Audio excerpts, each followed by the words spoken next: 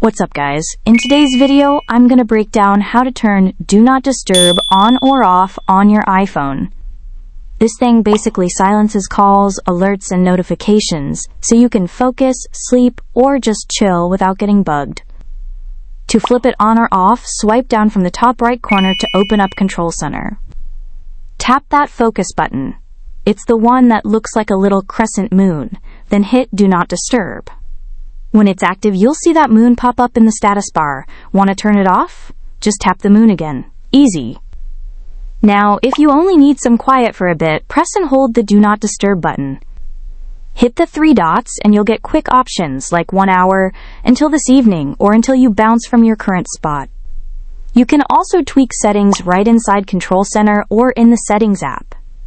Open Settings, scroll down to Focus, then tap Do Not Disturb. Here you can decide who gets through. Tap People under Allow Notifications. If you want urgent calls to still ring, tap Allow Notifications From, then Allow Calls From.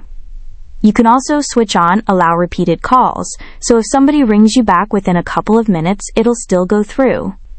Jump back a screen, tap on Apps, and choose which apps are allowed to buzz you. Anything not on the list can still push through if it's marked time sensitive. Next up, under Allow Notifications, you've got extras like Show on Lock Screen, Hide Alerts, Silence Notifications, or dimming the lock screen so things stay low key.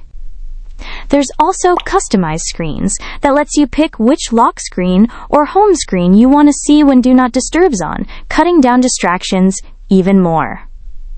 And yo, you can even schedule it. Scroll down, tap Add Schedule, and set it up by time, location, or app.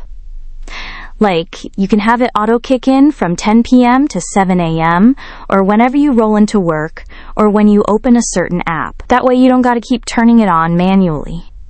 Use Do Not Disturb to stay locked in while you're working or studying, get real sleep without interruptions, or just keep things quiet in meetings or while traveling. That's pretty much everything you need to know. If this video helped you out, don't forget to like, share, and hit that subscribe button for more tips and tricks from the Free Tech Guide.